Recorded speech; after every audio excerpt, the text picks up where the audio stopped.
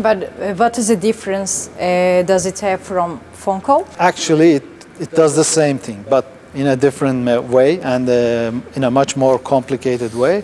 It gives you the ability to, to share the, the, the video, okay? Um, what you see, you can share, and the, the audio also. And uh, this gives our expert in here to assess the situation real time and help you with uh, his uh, comments Simultaneously. simultaneously. And also it gives you the possibility to make a you know written chat on the same screen share documents pdf documents manuals whatever you know this you can share to, uh, with the people on site and uh, you can mark uh, important points in their uh, you know in their screen. You know, you can show them what to do with the with a pointer, and uh, and also it records everything. Is you know all the service jobs, which are uh, done through this method, are being recorded.